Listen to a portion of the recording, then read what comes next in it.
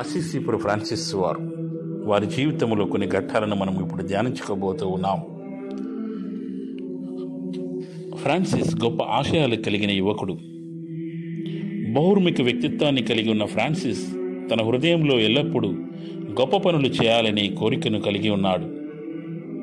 అతను అసిస్సి మరియు పెరుగియా మధ్య యుద్ధానికి బయలుదేరినప్పుడు మరియు తర్వాత క్రూసేడ్ల సంఘర్షణకు అంతం చేయడంలో సహాయపడటానికి తన ఇరవై ఏట దీనిని ప్రదర్శించి ఉన్నాడు. ఫ్రాన్సిస్ పదకొండు వందల ఎనభై రెండులో ధనిక కుటుంబంలో జన్మించి ఉన్నారు.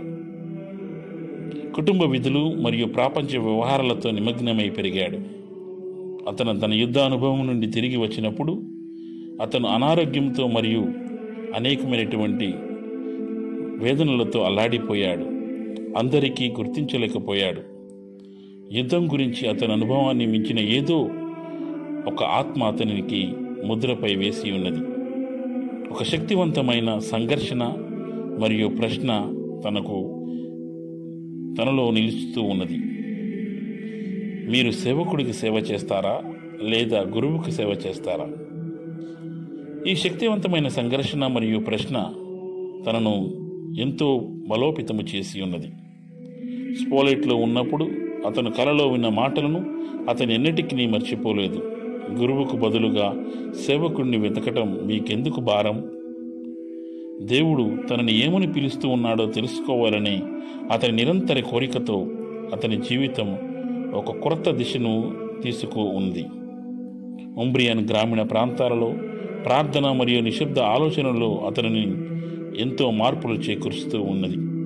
ఆ రోజులలో కుష్ఠరోగులను మరియు బహిష్కరించబడిన వారిని సోదరులు మరియు సోదరిమణులుగా స్వీకరించడానికి తాను ఎంతో దోహదపడ్డాడు. గతంలో అతను ఎప్పుడు ఎంతో అసహ్యంగా ఉన్న వీరిని ఇప్పుడు సానుకూలంగా తన ఎద్దకు తీర్చుకుని ఉన్నాడు. సన్ డ్రామియన్లో అను పొందినటువంటి అనుభూతి. ఫ్రాన్సిస్ శిథిలా వ్యవస్థలో ఉన్న చర్చిని బాగు చేయనటువంటి స్వరాన్ని మనం చాలాసార్లు మనకి అర్థమవుతూ ఉన్నది. స్పోలైట్లో శాన్ డామియన్ యొక్క చిన్న పొడవాటి చర్చిలో బైజంటైన్ సిల్వ ఉన్నది. ఈ శిలువ నుంచి ఒక స్వరము తన ప్రార్థన యొక్క నిశ్శబ్దాన్ని విచ్ఛిన్నం చేసింది. ఆ యొక్క స్వరం ఇలా చెప్పింది. ఫ్రాన్సిస్ నా చర్చిని బాగు చేయి మీరు చూడగలిగినట్లుగా ఇది శిథిలా వ్యవస్థలో ఉన్నది.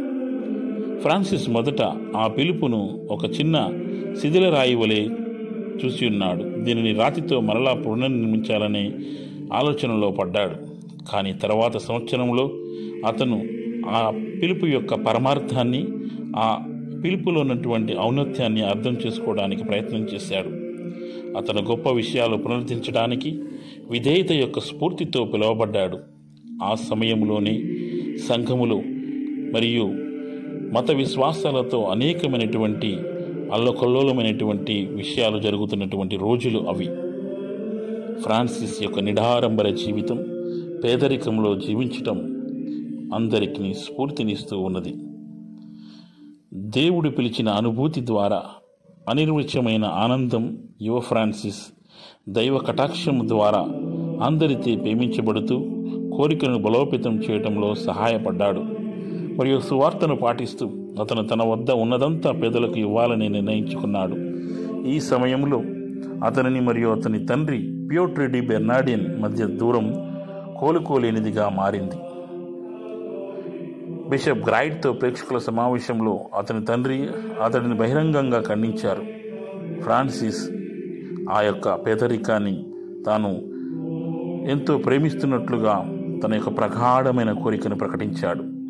మరియు అతను తన తండ్రి సంపదను త్యజించి మార్గంగా తన దుస్తువులను తీసివేశాడు. పోపు గారి నియామకాన్ని ఆమోదించడానికి ఫ్రాన్సిస్ ఎన్నో అనుభూతులను పొంది ఉన్నాడు. ఫ్రాన్సిస్ తన అనేక మంది సహచరులతో ఫ్రయర్స్తో సమావేశమయ్యాడు. తన సువార్తను పేదరికంలో ఉన్న ప్రజలకు అందించాలని పవిత్రతలో మరియు విధేయతలో జీవించాలని తన ఫ్రయర్స్ను ఎప్పుడూ కోరుతూ ఉండేవాడు. పన్నెండు వందల రెండవ సంవత్సరంలో పోప్ థర్డ్ని కలవటానికి రోమ్లో మొట్టమొదటి సోదరుల సమావేశం నిర్వహించడం జరిగింది. ఈ సమావేశం ఈ చిన్న యువకుడు ఆ నియామకాన్ని ఆమోదించడానికి ఎన్నో మరి పన్ మాటల ద్వారా రాతల ద్వారా అందరూ కూడా చేయూతనిచ్చారు. తర్వాత పన్నెండు వందల ఇరవై మూడులో హునేరియస్ మూడు ద్వారా ఖచ్చితంగా నిర్ధారించబడి ఉన్నది. ఫ్రాన్సిస్ జీవిత చరిత్రను మరియు ఆయన జీవిస్తున్నటువంటి అనుభూతిని ఇతరులకు ఎంతో ప్రేరేపణించింది ఫ్రాన్సిస్ యొక్క తేజస్సు అసిస్సికి చెందిన ఒక గొప్ప మహిళ క్లేరెను కూడా ఆకర్షించింది. ఫ్రాన్సిస్ ఆమెను స్వాగతించాడు మరియు రెండవ ఫ్రాన్సిస్కన్ ఆర్డర్గా ది పేద క్లారిస్కి మూలమిచ్చాడు. ఫ్రాన్సిస్ జీవిత చరిత్ర మరియు అక్కడ ఉన్న ప్రజలకు ఎంతో బలోపేతం చేసింది. సామాన్య ప్రజలు కూడా ఆ యొక్క సభలో చేరాలని ఉర్రూర్తలు ఊగారు. వారి యొక్క కోరికను వారిలో ఉన్నటువంటి జిజ్ఞాసను గ్రహించిన ఫ్రాన్సిస్ మూడవ ఆర్డర్ను కూడా స్థాపించాడు. ఫ్రాన్సిస్ అపర క్రైస్తవుగా పరిగణించబడ్డాడు. క్రీస్తు యొక్క ప్రేమను దానిలో ఉన్న మాధుర్యాన్ని మొట్టమొదటిగా క్రిస్మస్ యొక్క సందేశాన్ని ఈ ప్రపంచ లోకానికి అందించి ఉన్నాడు. క్రిస్మస్ నేటివిటీ సన్నివేశాన్ని నేటికి కూడా ఫ్రాన్సిస్ బహుకరించిన గొప్ప బహుమతి మన అందరి జీవితాలలో చోటు చేసుకుని ఉన్నది. చరిత్రలో మొట్టమొదటి సాధువుగా కళంకం యొక్క ముద్రగా స్వీకరించే అనుభవానికి దారితీసింది ఫ్రాన్సిస్ విశ్వాసం లేని వారిని కూడా సువార్త వైపు ఆకర్షించే విశ్వాసం యొక్క ఆనందాన్ని అందించి ఉన్నాడు. పవిత్ర భూమిలో తనను గౌరవంగా స్వీకరించిన సుల్తాన్ ఆసక్తిని కూడా అతను ఆకర్షించాడు. ఫ్రాన్సిస్ జీవిత చరిత్ర మనకు ఆదర్శప్రాయంగా నిలుస్తూ ఉన్నది. తాను రాసినటువంటి the canticle of brothers sun Italian సాహిత్యంలో ఒక కవిత రచన. అతను అనారోగ్యంతో బాధపడుతూ ఉన్నప్పుడు మరియు క్రీస్తులో దేవునితో రాజీపడిన ఆత్మ యొక్క స్వేచ్ఛను వ్యక్తీకరించినప్పుడు ఈ విధంగా రాయబడి ఉన్నది. ఫ్రాన్సిస్ జీవిత చరిత్ర మనకు ప్రామాణికంగా నిలుస్తూ ఉన్నది. సెయింట్ ఫ్రాన్సిస్ జీసస్ వద్దకు వెళ్తున్నాడని తెలిసి సంతోషంతో సోదరి మరణాన్ని అంగీకరించాడు. అతడు మూడవ తారీఖు అక్టోబర్ పన్నెండు వందల ఇరవై ఆరు సాయంత్రం కాలమున మరణించాడు. అసిసి యొక్క ఆత్మవిశ్వాసం మరియు సాహసాన్ని ప్రేరేపిస్తుంది. ఫ్రాన్సిస్ నలభై నాలుగు సంవత్సరాల వయసులోనే పోర్జియన్ కులలో మరణించాడు. అక్కడ అతను అసిసి క్షమాపణ యొక్క బహుమతిని అందుకున్నాడు. రెండేళ్ళ తర్వాత అతను పవిత్రునిగా అనగా పునీతునిగా ప్రకటించబడ్డాడు. ఫ్రాన్సిస్ పూర్తి క్రీస్తును అనుసరించటంలో సత్యం మరియు దాతృత్వంలో అందరి మధ్య సంభాషణను నిర్మించడంలో మరియు సృష్టిని కాపాడడంలో చాలామందికి నేటికి స్ఫూర్తిని ఇస్తూనే ఉన్నది.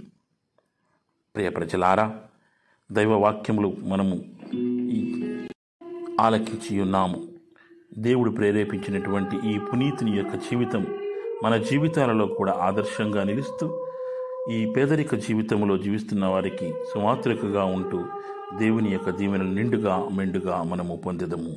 ఆమెన్.